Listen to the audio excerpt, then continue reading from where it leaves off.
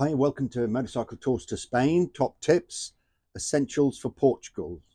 I came out to the shed basically just to check the trickle charger was still okay and uh, nothing's getting damp in it, which it isn't, and that's good news. And then I started to have a rummage. And what I discovered was, ah, before we get onto that, I found a bag of peanuts.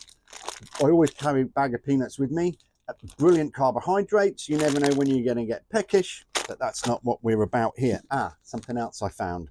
Uh, don't forget your travel plug. These work uh, all over Europe, but also, obviously, uh, the ferry, and they're really good for uh, boosting everything, your power packs and your cardo and your phone and everything while you're on the ferry.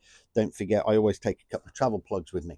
No, this is what I wanted to talk about, Essentials for Portugal and its spare fuel you don't need to carry spare fuel with you when we're on uh, the Spain, southern France, Andorra, Portugal trips at all. There's plenty of fuel. We know where the fuel stops are.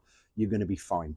Uh, however, some people go further afield and they go down to Morocco and then they feel the need, probably rightly so, to take some spare juice with them when they go into North Africa.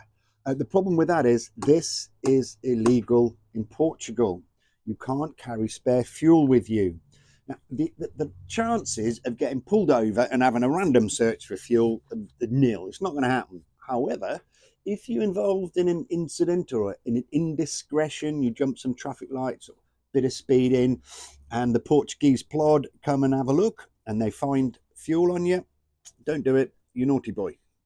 Cool. That was it, really. Short one for today. Uh, ride safe, guys. And uh, it's not long now till the new season begins. ice. This is ice on here. Look what we're trying to ride through. My glasses fogged up, my visor fogged up. Zero degrees. It's actually snowing. I don't know if you can see the snow.